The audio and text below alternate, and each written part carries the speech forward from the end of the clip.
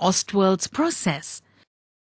Here we have four chambers, namely catalyst chamber, cooling tower, oxidizing chamber and absorption tower.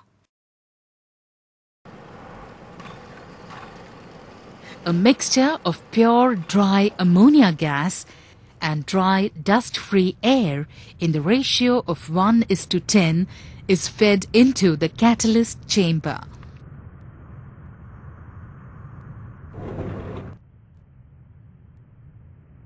In the presence of the platinum gauze at 700 degrees Celsius to 800 degrees Celsius, the ammonia is oxidized to nitric oxide.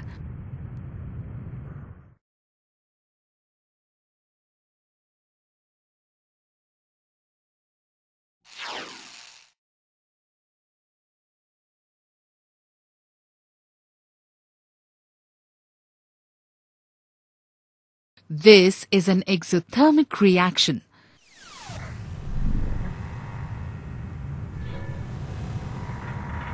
This nitric oxide gas is allowed to pass through the cooling tower and the gas is cooled to 50 degrees Celsius. The cooled nitric oxide is now allowed to pass into the oxidizing chamber. This chamber has an inlet for fresh oxygen. Here, nitric oxide combines with oxygen to forming nitrogen dioxide. Two molecules of NO plus one molecule of O2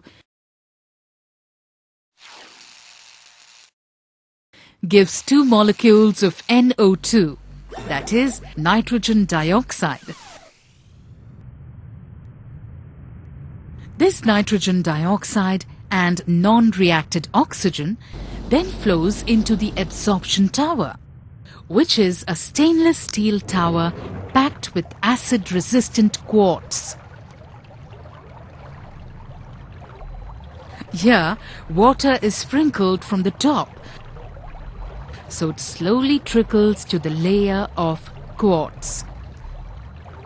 The water dissolves with nitrogen dioxide and non-reacted oxygen to give dilute nitric acid.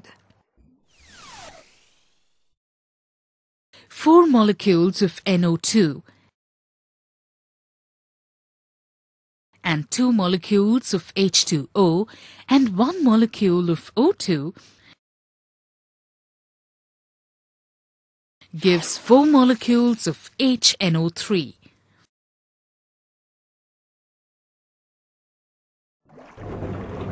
Dilute nitric acid can be synthesized from ammonia via the Ostwald's process. A mixture of ammonia and air is passed through a catalyst chamber where ammonia is oxidized to nitric oxide. This nitric oxide is passed to the cooling chamber where it gets cooled and then enters the oxidization chamber which is connected to an oxygen inlet. Here, nitric oxide combines with oxygen forming nitrogen dioxide.